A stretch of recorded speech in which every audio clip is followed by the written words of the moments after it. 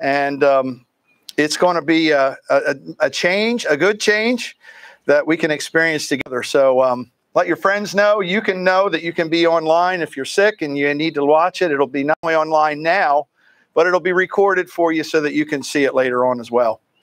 So today is exciting too because we're starting a new reading plan. Actually, we started it last week. If you don't have one, let me know. I'll be glad to get you one. We'll put them out here on the table for when we um, dismiss here. And we're going through the book of Colossians. The Col- and Colossians is an awesome book. It's probably the most Christ-centered book in the Bible. It's letter written to the church of Colossae. And um, if you've been reading the first chapter, it's just really an incredible book. And the difficulty is going to be to get through it in four weeks. But um, we're gonna we're gonna have God um, guide us and direct us, especially me in the morning message. And so um, let's go to the Lord before we do anything else. Father, we are grateful for your love for us. We are thankful for your gift of your son Jesus, who makes us right with you as a result of his suffering, as a result of his death, and a result of his resurrection. And Father, we pray this morning that you would um, speak to each of our hearts as only you can do. Lord, you know where we need wisdom. Lord, you know where we need encouragement. Lord, you know where we need discipline. Lord, you know what we need. You're a good, good father. You're a perfect father. And nobody loves us like you do.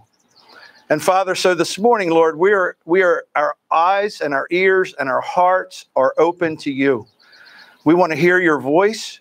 We want you to change us from the inside out, that you might be given glory and praise through our lives, both now and forevermore. And we ask it all in Jesus' name. Amen. All right, well, most of you are probably familiar with the book by Robert Fulghum.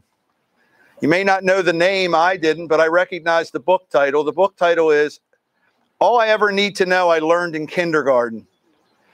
And he writes about things like life and death and joy and pain and sorrow. And after reading and studying through the first chapter of Colossians this past week, I feel like I could write a book very similar, only it would be all that I ever learned or all that I ever needed to know, I learned in Sunday school. Because if you went to Sunday school, um, if even if you were goofing off and the teacher asked you a question, what, what was your always your answer? It was always one word, right? It was always Jesus. Jesus was the answer for everything. That, that's just what you said because that was the answer. And, and this morning's message is actually called Why is it always about Jesus? Why is Jesus always the answer? Is he always the answer? And, and our Christianity claims that Jesus is all we have and Jesus is all we need and he's the answer for everything.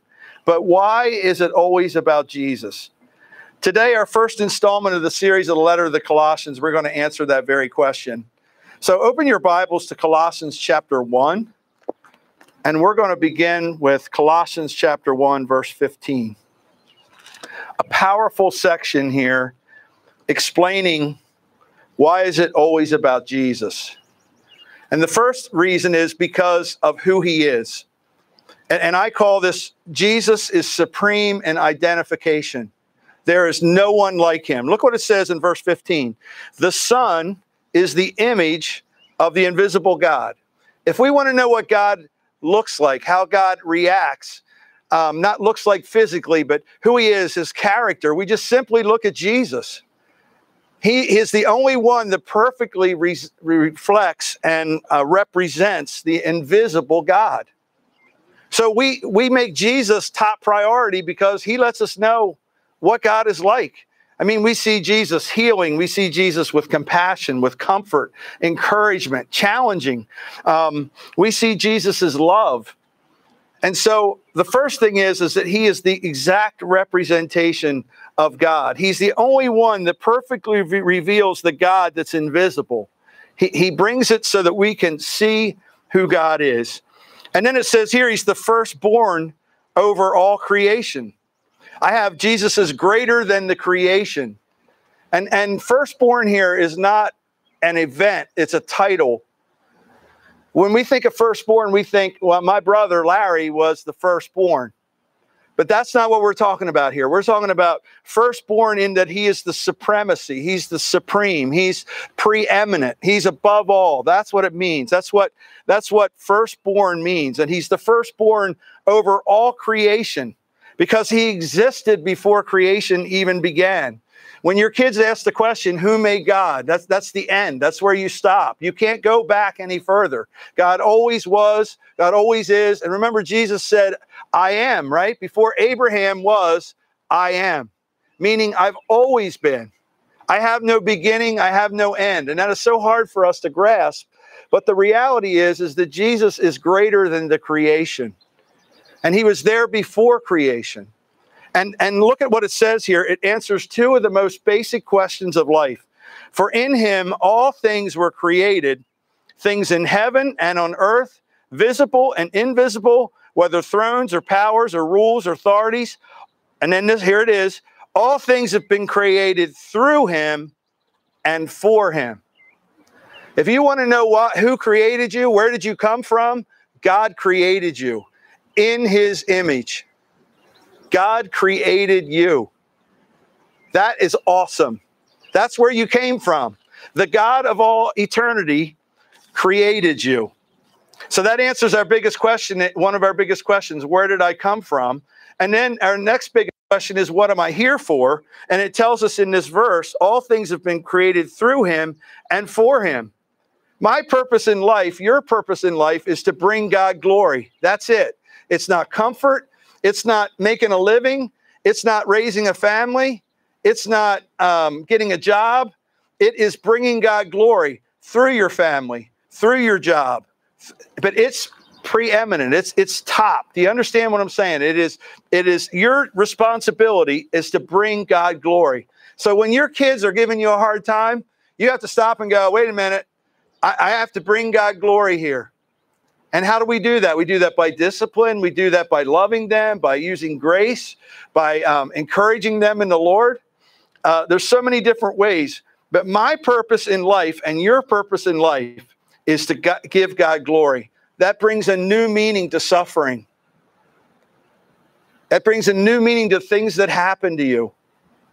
The point is, is that we're looking at the fact that, that Jesus is the answer and so Jesus is all supreme, and it's in his, who he is. He is greater than creation. And Jesus is the explanation. He explains why we're here and what we're here for. And then Jesus is in charge of the congregation. It says in verse 18. Oh, wait, let me do 17. He's before all things, and in him all things hold together. Now, I, I understand that scientists believe that they don't know what holds the atom together. And um, the reality is, is this the Bible tells us that God holds it all together. I'm not smart enough to figure all that out. That may be true and it might not be. I don't know. I'm not smart enough to figure that out. But I do know He holds my life together. I do know that that God in, encourages me and helps me and walks with me. And, and when I'm falling apart, He holds me together. And he is the head of the body, the church. He's the beginning and the firstborn from among the dead, so that in everything he might have the supremacy. The very point of the first point is, is that Jesus is supreme over all. There is none like him. There, he's got a category all to himself. We say holy, holy, holy, because one holy isn't enough to describe the character of God.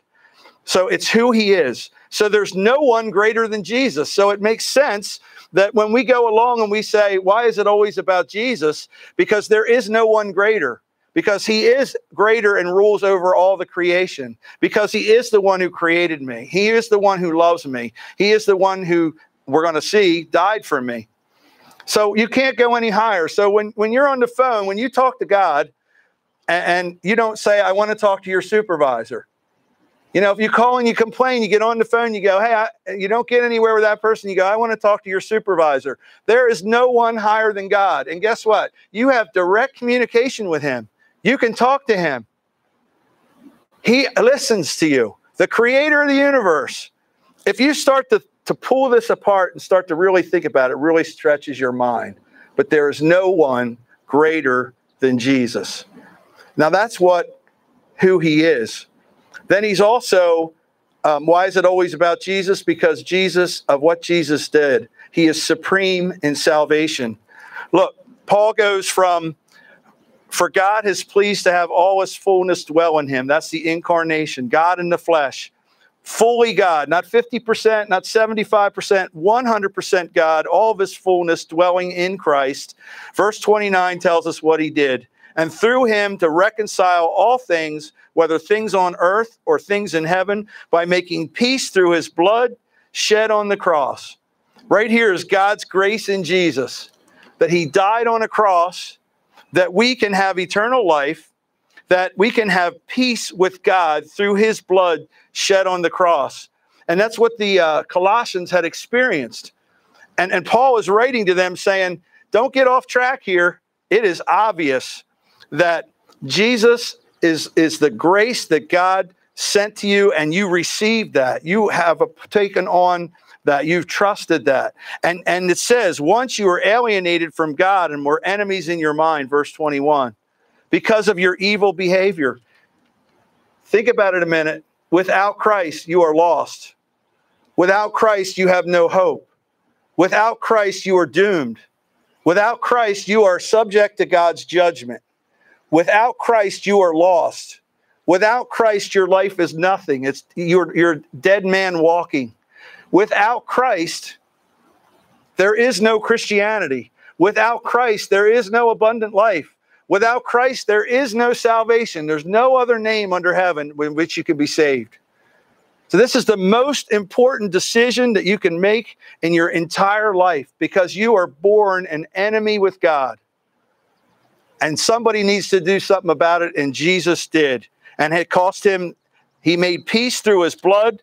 Verse number 20 verse 13, uh, verse 12, giving joyful thanks to the Father who has qualified you. See, you don't qualify yourself, God qualifies you to share in the inheritance of his holy people in the kingdom of light. Do you see what kind of future we have? For he has rescued us from the dominion of darkness and brought us into the kingdom of the Son he loves, in whom we have redemption, the forgiveness of sins. Whether you believe it or not, whether you understand it or not, because if you've trusted Christ, when he sees you, it's you are perfectly spotless, without blemish. Now, I don't know about you, but that's not the reality of my life. I'm not perfectly spotless without blemish. But positionally, not practically, positionally, when, when God looks at me, he sees Christ's righteousness and he goes, There, Scott, he is holy and blameless. Man, can you grasp that? I mean, like, I know what my life's like. I know what my thought life is. I know what things I say and do. And, and Christ took care of that by his redemption, giving us forgiveness of sins. So um, the reality here is, is that salvation is good news. It's good news. Look at what he says in verse um, 22. But now he has reconciled you by Christ's physical body See, he had to be man and he had to be God. And through death to present you holy in his sight without blemish and free from accusation. Wow, that's your position before the Lord. He made you holy and righteous. And salvation is found in no other than Jesus. There is no other rescuer, there's no other redeemer, there's no other savior, there's no, ever, no other payment, that's available for your sin. When you stand before God, you are either in or out, and you are either in Christ or out of Christ. One of the two.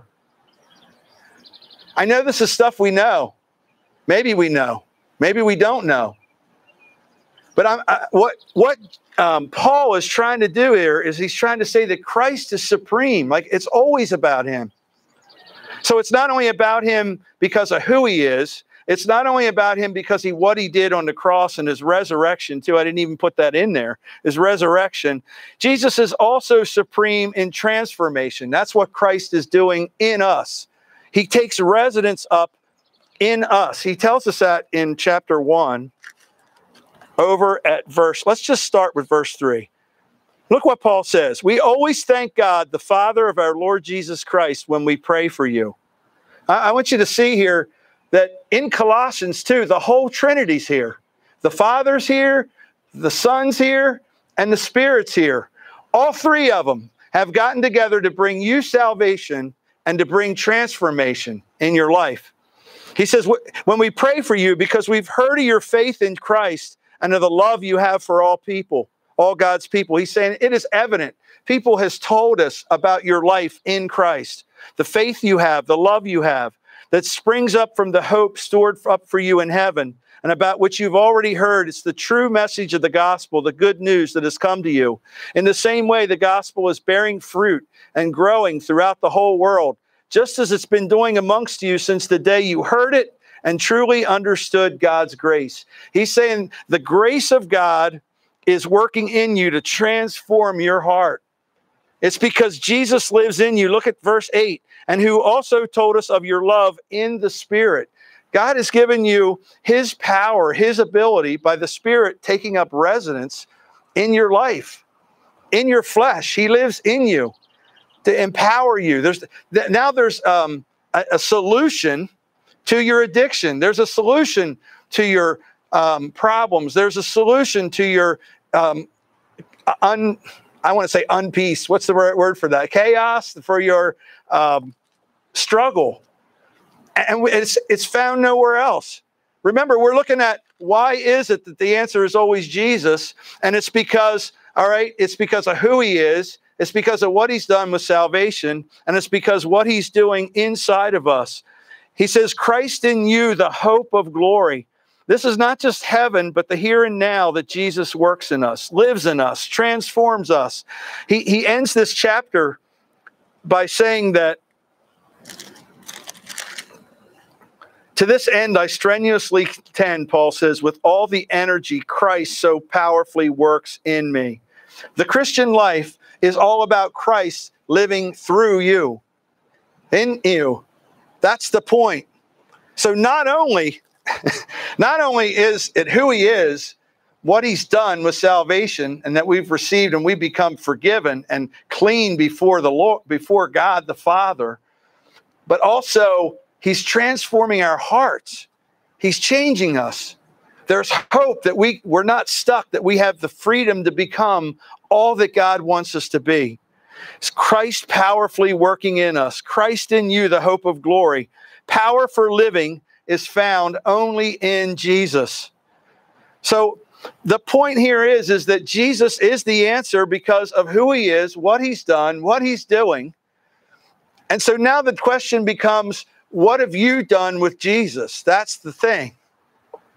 Because if you know him personally, if you know him personally, you can be assured when you know who he is, you know that he's a God that is also uh, not only of love, but he's a God of discipline. He's a God, God of um, strength. He's a God of provision. He's the present God. When you start to realize who, who Jesus is and that he's with you, it changes everything. Supreme in salvation. When you know you're saved, you know this world is not all there is. You, you look around and go, This place is not my home. This is not my home. And all the struggles that I have here one day will be over. And if I know Christ, the most glorious future is coming up.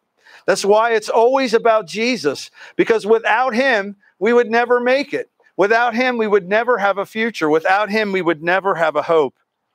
And, and this is what Paul says in verse 28 He is the one we proclaim. He is the one we proclaim, not ourselves, not what we do. We proclaim Jesus because he understands that Jesus is supreme in identification, salvation, and transformation. And now he's proclaiming him. Proclamation. Nothing more, nothing less. We don't add anything to Jesus. We don't take anything away from him. The truth is in here. This book reveals Jesus and our need for him. And it reveals what he's done for us and what he's doing in us. And so when we we come and we we do life, we do life differently. We, we do life with the understanding that Jesus died for us, loves us, is, is working in us, And, and so now, whenever our struggles, whenever our trials, whenever that comes, we can know it's Jesus. He's at work. We can know it's Jesus. He's he's involved. We know it's Jesus that He allowed this in my life so that I could reflect His glory. Because remember, that's my purpose. My purpose is not comfort. My purpose is God's glory. It's pointing to Jesus. That's what our life is about. And and Paul says here is that's that's who I proclaim. So the challenge to us is is that who you're proclaiming in your work? Are you proclaiming Christ? Not just by what you say, but what you do. Both of them are important. Is that what you're who you're proclaiming? Does, do people know that that's your bottom line? That's your base, that Jesus is the answer. Is it? Paul says that's who I proclaim. How about our church? Like, I've been convicted of this. You know, do I come and give you self help things or do I come and point you to Jesus? This isn't about self help, this is about God help. And this book is, is reorienting me toward the reality of Jesus is the answer. So when we start to struggle, we go to Jesus. When we start to struggle, we think of who Jesus is. When we start to struggle, we understand that Jesus died for us. And if he'll die for us, will he not freely also give us all things? The answer is Jesus. I don't want to make it more complicated than that. All that I ever needed to know or learn, I learned in Sunday school. The answer is Jesus. And this is what Paul says here. It just really jumped off the page at me. Look at verse number six. And Paul's telling them that he is that it has come to you, the gospel.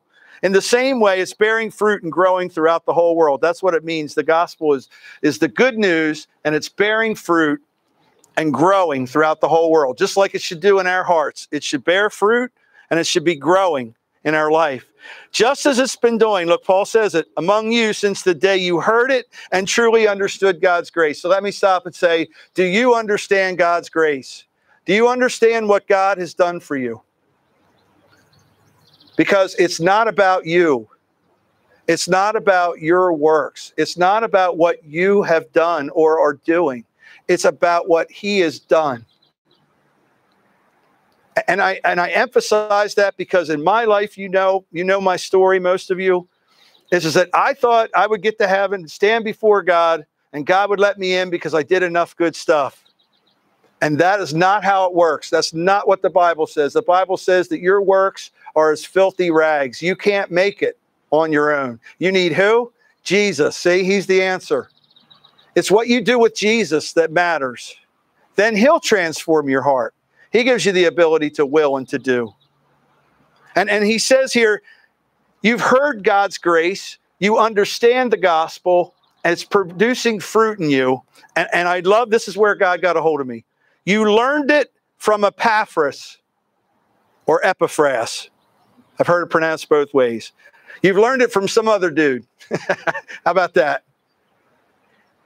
When you receive Christ, if you've received Christ, um, it was probably through another person. For me, it was Tony Jackson, the pastor here, so many years ago, whatever it was. It was a person. That's a challenge to us right here. To those of us who know the gospel, the good news. Yes, Christ could have done, God could do it any way he wants. And he can do it with people just reading the Bible. Don't get me wrong. He can do that. But for the majority of people, there's someone involved that is sharing the Lord with them, that is sharing what Christ has done for them. And we got to get busy because our time is short. I don't know. Christ could come back today, right? We don't know. But I know you have people in your family, just like I have people in my family that don't know the Lord. I know that you have people at work that don't know the Lord. Bill was telling me the other night that he heard on the news, and I, I don't I have the percentages totally right, but you won't need me to when you hear what I'm about to say. The 93 or 95 percent of America in the in the 70s, Bill, is that what it was? In, in 1970, agreed uh, um, would say that they were Christians. Now that number is like 32 percent, and we wonder why we have problems on airplanes And we wonder why we have problems with gun violence. And we wonder why we have problems in our schools. Why? Because we've kicked the answer out. And you and I need to get out there and share the gospel with people because it's what they need. It's the answer to everything that they're dealing with. And so when you have counseling, make sure it's with a Christian counselor, somebody who knows the Lord and loves the Lord and can bring you to the answer. I was listening to Tony Evans the other night, uh, and if you get an opportunity to listen to it, it's on YouTube. It's uh, his address to the uh, Religious Broadcasting uh, Association in 2021. And he talks about God shaking up our world. He's shaking us up, He's shaking the church up. That's what this whole COVID thing's about. God is using it to shake us up and to realign ourselves with what's what's important. And this is the book we go to. And this is this is where we start because it tells us all about who Jesus is. So are we being faithful in sharing the gospel? The Spirit will provide us everything we need. It's always about Jesus because he's supreme over all things. No one's greater. He brings peace with God. His power works in us. We can proclaim him and him alone, and we can strenuously contend to him. So I just want to end with this, this point. My life is about Jesus. My work is about Jesus. My struggles are about Jesus. My successes are about Jesus. My marriage is about Jesus. My career is about Jesus. My cancer is about Jesus. My suffering is about Jesus, and I don't mean that to sound flippant. Suffering is tough. It is hard to go through. It, it can it can really it can really bring us down. It can really discourage us. It can really be hurtful. But what I want you to know is that there's one there who's the answer, that Jesus. He and even when you can't hold on to him, he's holding on to you. He is always faithful. And we are here to bring him glory, not to bring ourselves comfort, that we might bring glory to him through our lives and through the things we say and do. So we start off this book with the reality of the, things he's going to deal with in chapters three and four all come out of this passage of 15 through um, 20, 29 there. Um, he's going to come back to that again and again and again. Why? Because the answer is always Jesus. So let's pray. Father, thank you for your grace and your mercy. What an awesome God you are. Father, Jesus is an indescribable gift. And Father, I pray that there's no one here that has rejected the gift of salvation, peace with God. One day he will stand before God, and he is a God of judgment, and he can't look the other way with sin. And he has dealt with that on the cross in his son. He freely gave his own son, who freely came and to be obedient to the Father because he loved the world. And he gave himself for it. Father, that we might have eternal life, that we might have hope, that we might have joy, that we might have purpose, that we might know where we came from, that we might jo- enjoy intimacy with him. And Father, if we don't have that relationship with Christ, we are missing out. We're not even living. He came to give us life and life more abundant. And Father, I pray that if there's anybody here that's never trusted Christ, that the Lord, this morning would be the day that they would just say, Lord, would you be my Savior? Would you forgive my sin? Father, I'm trusting what you did on the cross, that you died for me, that what the Bible says is true, that when I trust you with my heart, and it comes from my heart, Father, that, that you will show me the, how you will transform my life. And I will pass from death to life when, we, when I repent and turn towards you. Father, it just takes an admission of sin, a belief in Christ. And Father, then, then you give us the gift of salvation. And for those of us who know you, Lord, there's so many other things that we can make preeminent, that we can make important in our life. And Lord, we mess it up all the time. And Father, I thank you that this week, as we go through our trials and our struggles and our problems, we remember the answer is Jesus. We remember to come to you, that you might, that you might reveal your will, and, and give us understanding in your spirit, Paul says in this in this first chapter. That, that we would come to live a life worthy of the Lord. That Father, that you would bear fruit in and through us.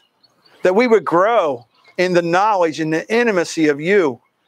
Because Father, Jesus is the answer. Jesus is the solution. Jesus is the only one. And Father, I pray that this week as we go, that we would remember that. That we would that we would find comfort in that. That we would find encouragement in that.